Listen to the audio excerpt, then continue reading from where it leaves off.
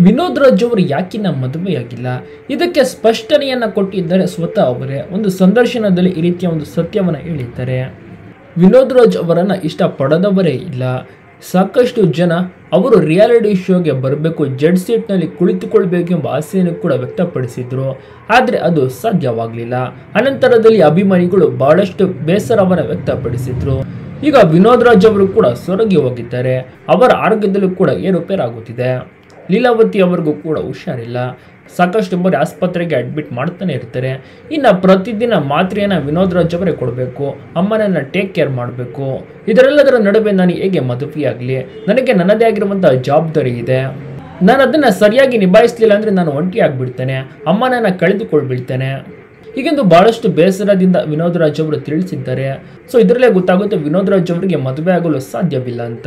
ಯಾಕೆಂದ್ರೆ ಅವರಿಗೆ ಅವರದೇ ಆದಂಥ ಜವಾಬ್ದಾರಿ ಉಂಟು. ಅಮ್ಮನನ್ನು ನೋಡ್ಕೊಳ್ಬೇಕು. ಅಮ್ಮನ ಜವಾಬ್ದಾರಿ ಹೆಚ್ಚಿದೆ. ಇನ್ನು ಬೇರೆ ಬೇರೆ ಕೆಲಸಗಳು ಕೂಡ ಇದೆ.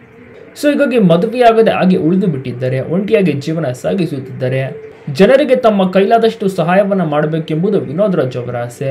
ಹೀಗಾಗಿ ಬಹಳಷ್ಟು ಶ್ರಮಿಸುತ್ತಾ ತಮ್ಮ ತಮ್ಮ ಊರಿನವರ ಜನರಿಗೆ ಬಹಳಷ್ಟು ನೆಮ್ಮದಿಯಿಂದ ಜೀವನ ನಡೆಸಲು ಬೇಕಾಗಿರುವಂತಹ ಅನಿವಾರ್ಯ ಕೆಲಸಗಳನ್ನೆಲ್ಲ ಮಾಡಿಕೊಡ್ತಿದ್ದಾರೆ